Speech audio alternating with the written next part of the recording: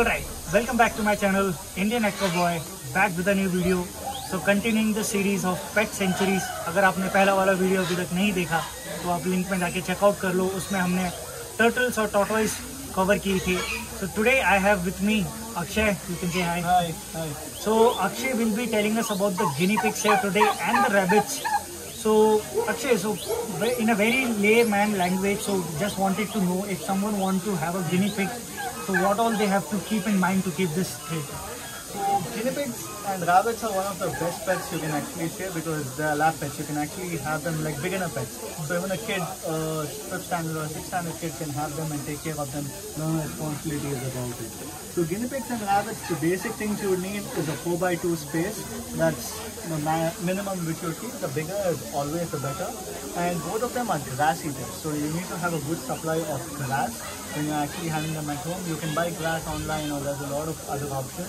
So they're mainly grass eaters, so it's easier to take care of them. You don't have to look for other things, like some kind of pellets and all of this. So mainly they eat grass. You can supplement it with a lot of veggies, and a 4x2 enclosure is the basic needs which a guinea pig or a rabbit would. So basically, the enclosure is like something to keep them for rest. Otherwise, you can leave them open yes, yes. You can you can leave them open. It's up to you, but you need to make your house a little uh, pet proof so that there's no hanging wires or anything Correct, that can correct. enable on and all of this. Other than that, you can let them out at your house. They'll be completely free. When you're not around or when you're not looking at them, you can just put them in the enclosure. They'll be completely free. And they can actually recognize people too. Once you have that daily feeding schedule and all of that, they will start making noise. Okay, so they do that. You. Yes, yes. And uh, one more thing, so like, what's their lifespan and all? Uh, guinea pigs can live up to 5 years, that's their average, and rabbits 8 to 12 is their average. Okay. So guys, this was all about the guinea pigs and how pretty they are. So now let's move to rabbit section. So these are all the babies? Yeah. Nice. Guinea pigs, are like rabbits, they're born with fur. Okay. They're born with full fur and they can move around, they can open their eyes, they can smell. And they start eating from day 3 or something. Whatever the mother eats, they nibble it and start eating. So, uh, for example, I can see two, three mothers and a lot of kids. So they don't fight. No, no, no, no. Not really. Because usually, So sometimes what we have observed here too is some guinea pig babies will go to the other mother and suckle on their milk too. and that's okay. That's okay. That's completely fine. Not an issue. very nice. When you know all of them are healthy and they don't have any issues, it's completely fine. Because guinea pigs are social animals. They live in groups in the wild. So it's a completely social behavior than doing this. So actually, that's a really like quite a information that even kids can go to other mother Yeah. and they do it. Guys, we are at the rabbit enclosure now. Just see how cute they are.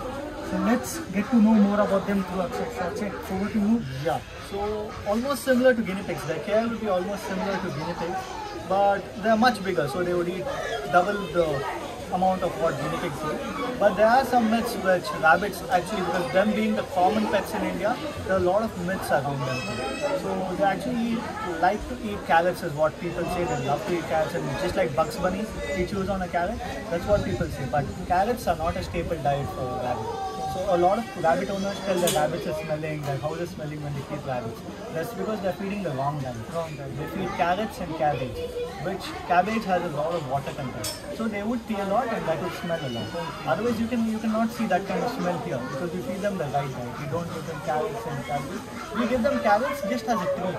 Maybe in three to four days they get a small piece because carrots has a high sugar content. They don't need that much sugar content. In the wild they don't even see carrots. They mainly feed on grass.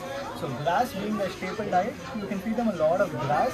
Give them carrots, apples, and other fruits and vegetables as a treat. That's the basic thing. And another thing that people actually mistake them is you've seen in a lot of movies and this thing, people pick them up by the ears. That's a really wrong way of picking up a rabbit. A lot of people pick the rabbits up with the help of the ears. That's a really wrong way. So the hunters or poachers usually pick them up by the ears because they have long claws. So they don't want to get scratched. That's the reason they pick it up by the ears. That's a really wrong way because you can damage the rabbit's spinal cord when you're doing it.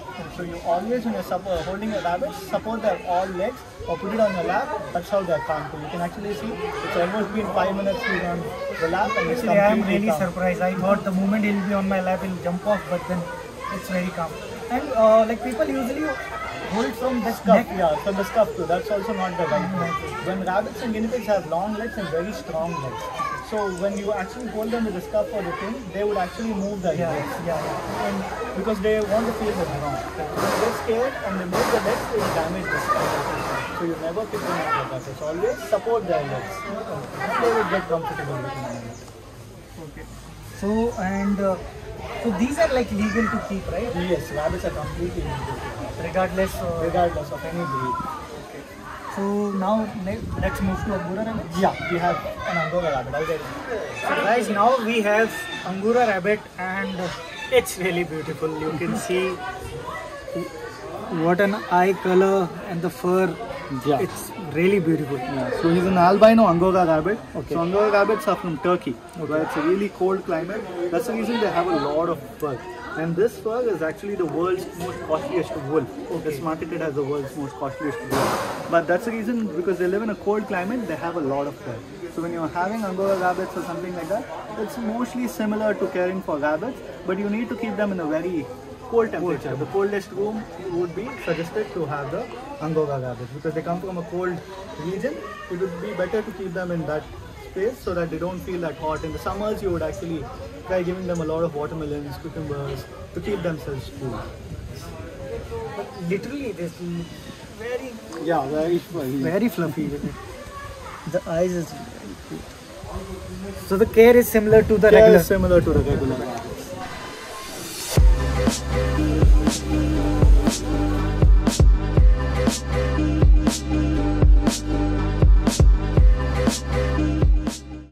So yeah, Akshay, what do we have here?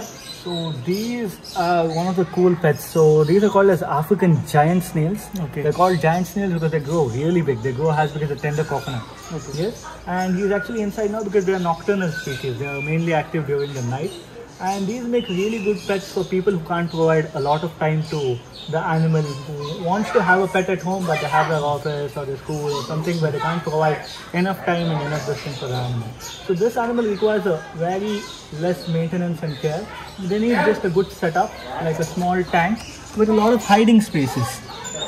You see, we have provided a lot of hiding spaces and some fake plants. Yeah, that's the most they need. And the bedding you actually see is coco fiber, which is again very easily available. And that, that's the water. there. That's the water dish. Whenever they would need water, they just walk into the water, they drink some, and they would move back. They mainly feed on any vegetable matter. Anything like peels of vegetables or anything, you can just throw it in the cage or the tank. They would just end up eating it. You just have to remove it every 24 hours so that there's no other maggots or anything like that. Otherwise, it's really easy to care because they're usually active during the night. You just come back from the office, throw some food inside, they would eat and they would stay very happy inside. perfect. See, can you just tell about these fishes and Okay, so this is a paludarium we, we have set up for archer fish. So you can see we have two types of archer fish over here. One are the clouded archers, okay, and one are the native ones inside the golden archers. Okay, so what they're actually they're almost adult size. They grow much bigger than this. They grow as big as our palm. They're still like sub-adult stage now. So the cool fact about this fish is they actually spit water up to six feet in the air. In the wild, they live in brackish water like rivers and rivers.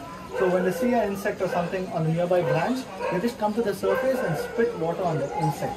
So why don't we see that? Let's See, you want to see it? Yes, we can actually try it out.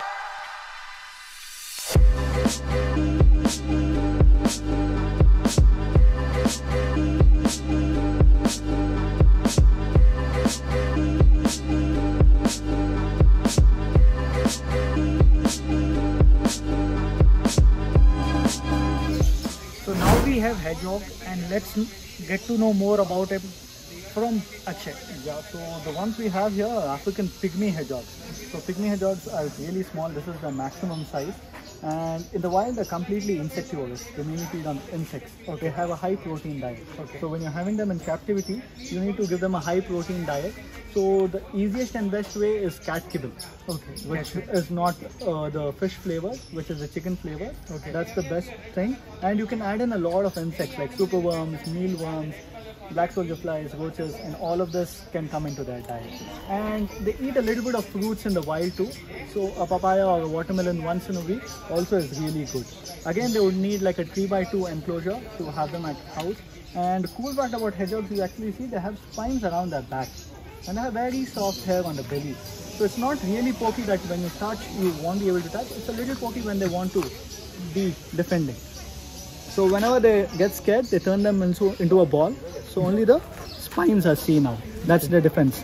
And if you actually zoom in into their eyes, you will see one of a hedgehog has red eyes and the other has black. So you would actually see the most common animal, the rabbit, which has red eyes. They're all albino animals. Albino is a kind of deficiency. They have deficiency of melanin. That's the reason they're completely white in color with red eyes. And this one here with black eyes is leucistic. They have melanin pigment only in the eye. So they're completely different genetics if you actually see. That's an albino and that's a leucistic. So guys, this was about the hedgehog and uh, thank you so much Akshay for No your time and really interesting facts about all the pets we covered in this video so guys stay tuned in the next video and the series of prani sanctuary. We'll be covering about the birds which is like emu and the birds enclosure so stay tuned. Till then stay happy and stay healthy.